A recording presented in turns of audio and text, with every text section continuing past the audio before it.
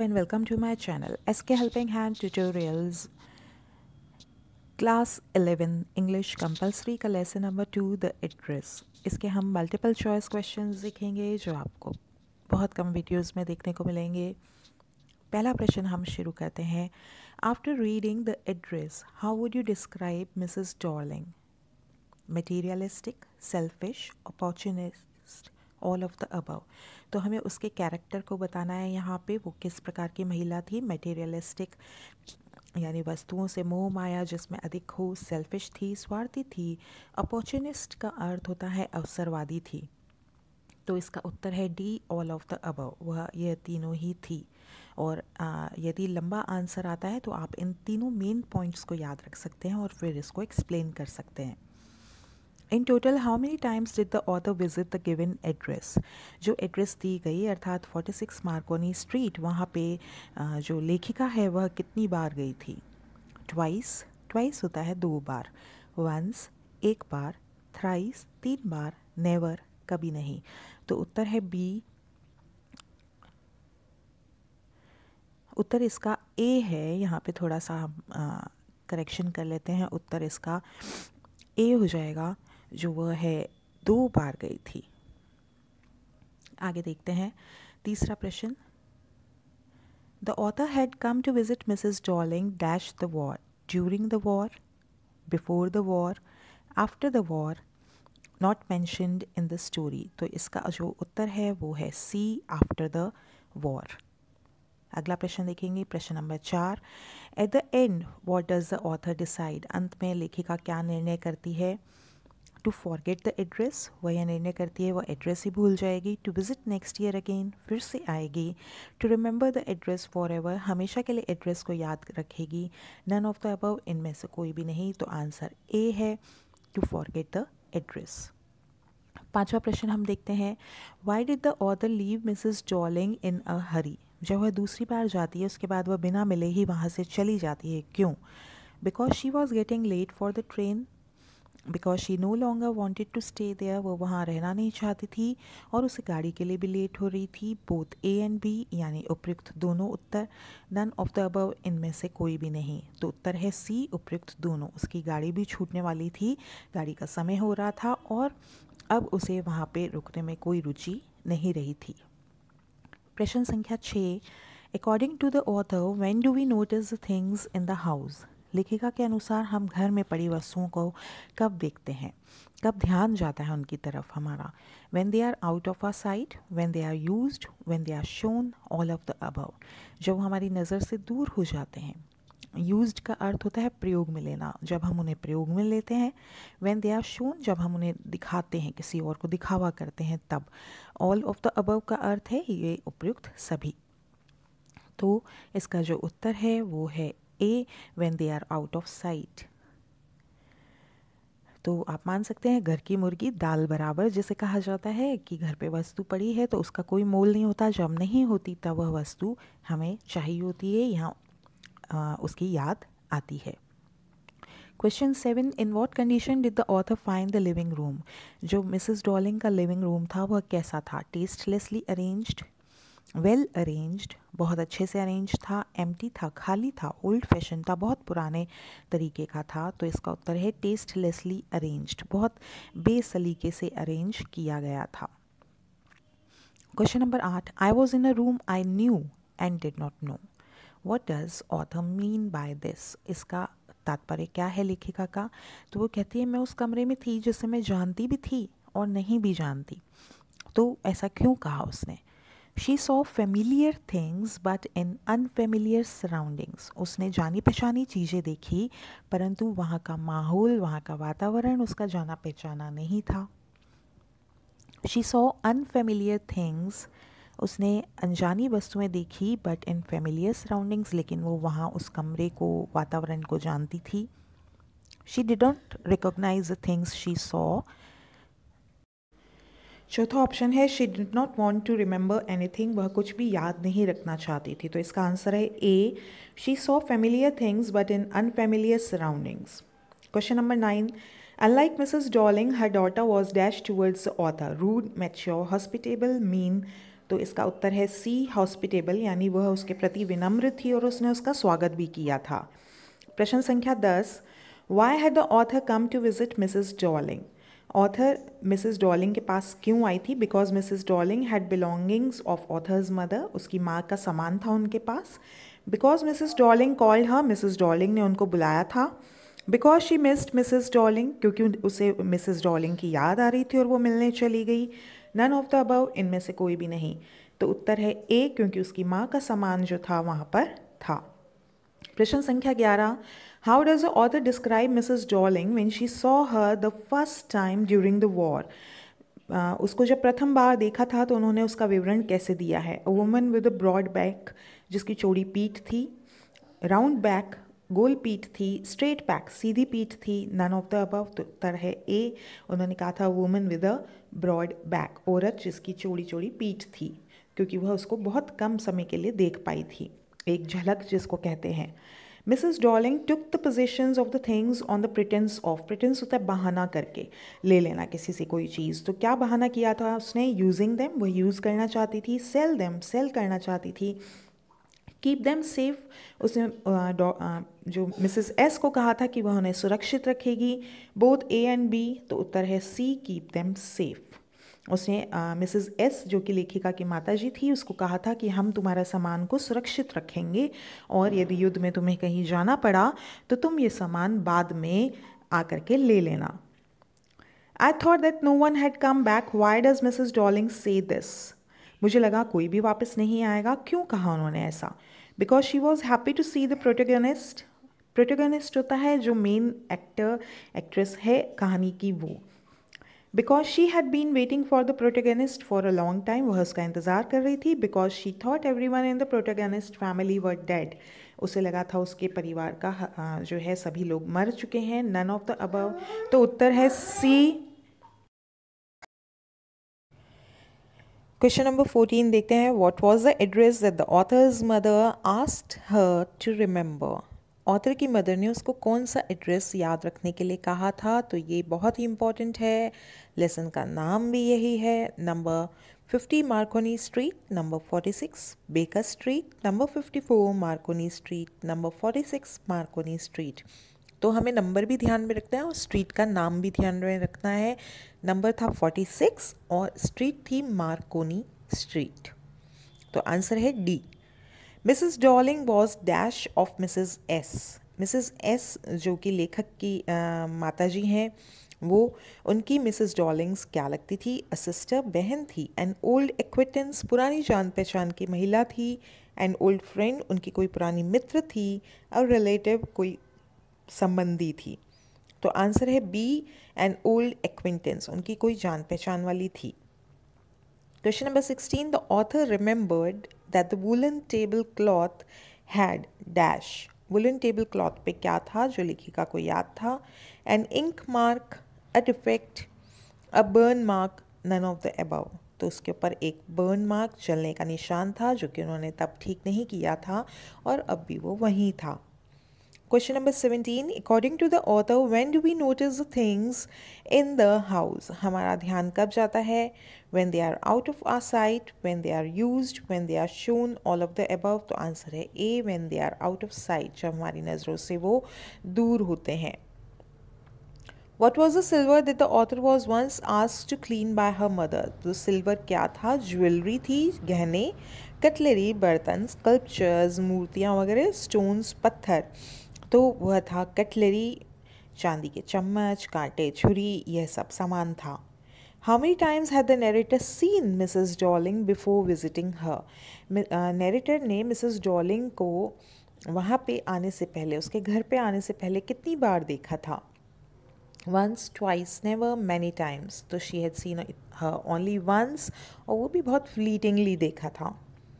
Every time she comes here she takes something home who does a word she here refer to तो ये जो वाक्य है every time she comes here she take something home ये Mrs S अर्थात लेखिका की माँ ने कही थी ये बात, और उन्होंने ये शी शब्द का प्रयोग मिसेस डॉलिंग के लिए किया था तो आंसर है B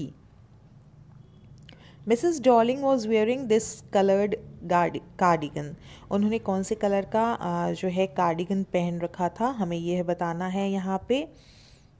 तो उन्होंने जो है ग्रीन येलो पिंक या वाइट तो उन, उन्होंने पहना हुआ था।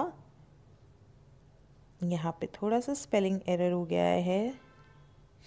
इसको ठीक कर देते हैं हम लोग पहले।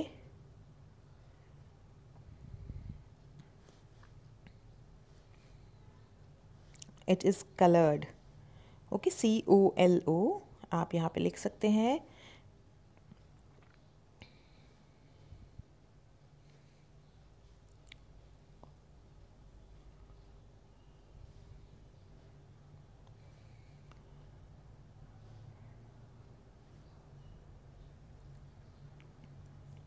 Mrs. Darling was wearing this colored cardigan that is green, yellow, pink, and white. The answer is A. It was green colored.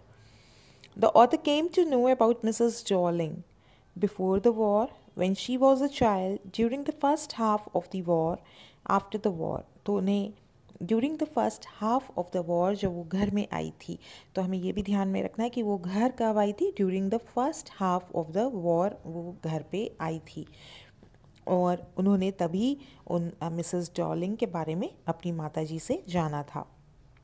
What according to mother cause crick and Dorling's back Dorling की back पीठ में दर्द कैसे हो गया था? लचक पड़ गई थी।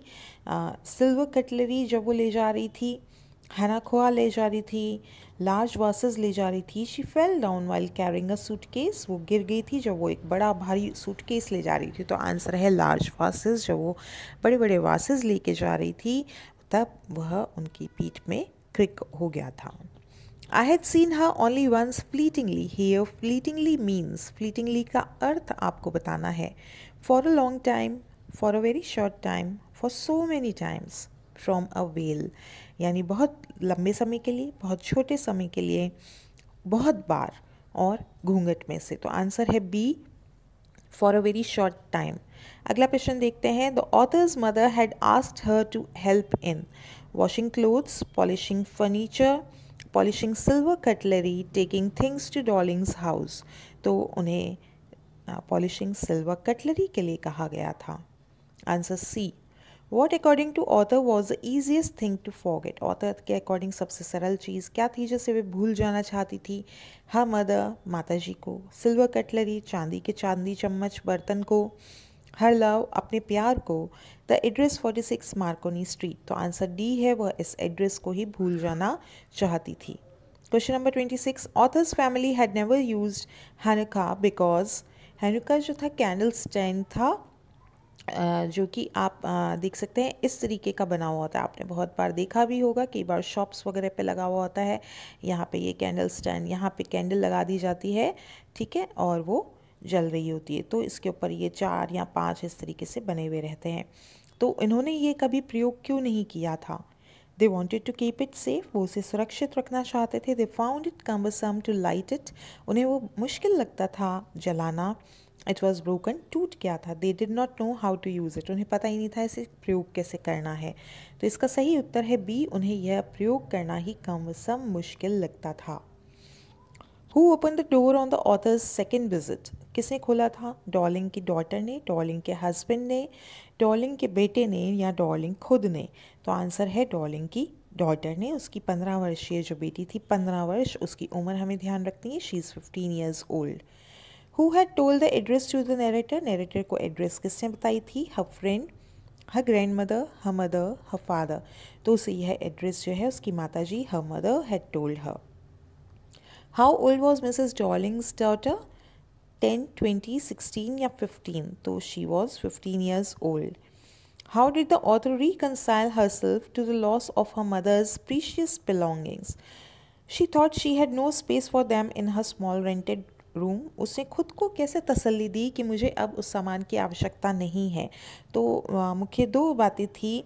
पहली बात तो यह कि उसे लगा कि उसके वजह कमरा जो है, अब बहुत ही छोटा था उसके पास। किराए के कमरे में वो रह रही थी उन युद्ध के दौरान में उसका घर वगैरह सब खो चुकी थी वो। तो वो सोचती कि मेरे पास तो रखने की जगह नहीं है, इसलिए मेरे को क्या आवश्यकता है? She had lost her interest in them as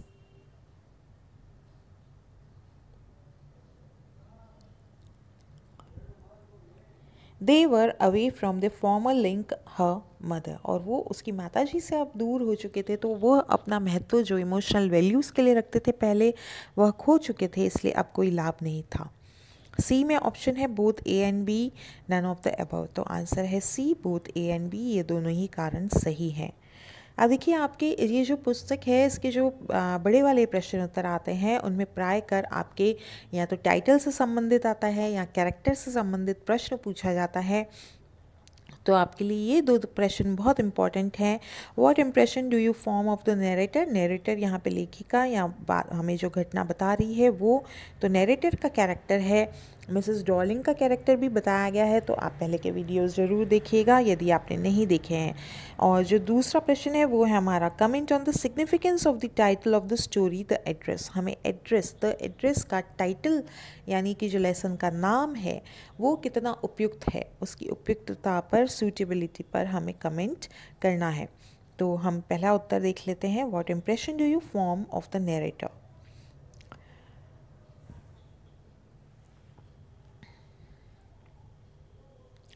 The narrator leaves a very favorable impression on us about her emotional and intelligent qualities. We find her an intelligent but devoted daughter. वह बुद्धिमान है परंतु devoted daughter है she loves and respect her mother but does not approve her soft behaviour उसका जो soft behaviour है उसकी माता जी का, उसको वो अप्रूव नहीं करती है, क्योंकि उसे लगता था कि वो जो मिसेस डॉलिंग है, वो उसे मूर्ख बना रही है और उसकी माता जी बहुत ही नरम स्वभाव रख रही है। Mrs Dorling she puts pointed question which her mother things impolite और वह अपनी माता जी से उसके लिए बहुत सारे सवाल पूछती है, जो उसकी माता जी को लगता है कि वो थोड़ी सी रूड हो रही है। द नरेटर हैज़ अ कीन पावर ऑफ़ ऑब्जर्वेशन उसकी आसपास के ऑब्जर्वेशन की जो क्षमताएँ हैं, वो अच्छी हैं।